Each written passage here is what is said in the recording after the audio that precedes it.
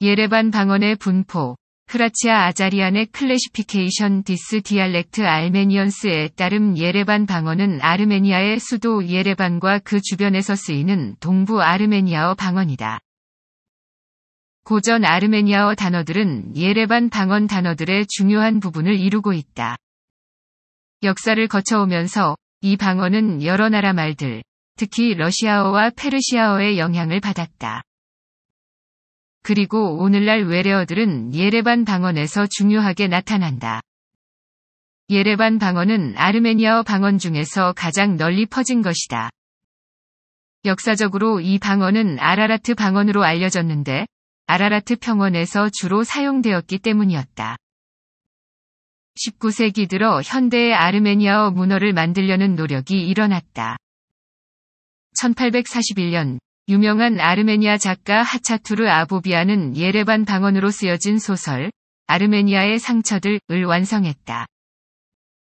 이 방언의 중요함은 1918년 예레반이 아르메니아 민주공화국의 수도가 되었을 때 생겨났다.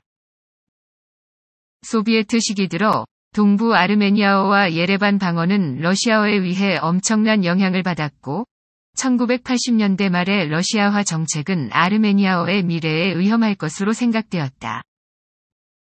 오늘날 아르메니아어 구어의 모태가 되는 예레반 방언은 예레반에 거주하는 최소 100만의 시민에 의해 사용된다. 게다가 아르메니아, 아르차흐 공화국과 조지아의 삼치헤자바에티 주의 모든 아르메니아어 방언에 대해서 예레반 방언은 교육 체계를 통하여 실질적 영향력을 행사하고 있다. 1980년대 말 이후 외국으로 이주한 아르메니아인 대부분은 예레반 방언을 사용한다. 아르메니아 내에서 예레반 방언은 영향력이 점차 강해지고 있다.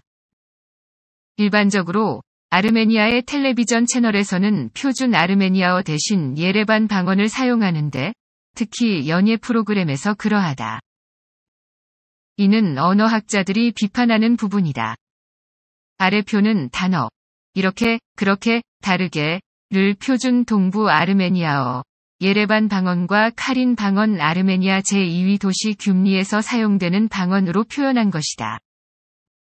예레반 방언의 발음은 고전 아르메니아어의 그것과 비슷하다. 시청해주셔서 감사합니다.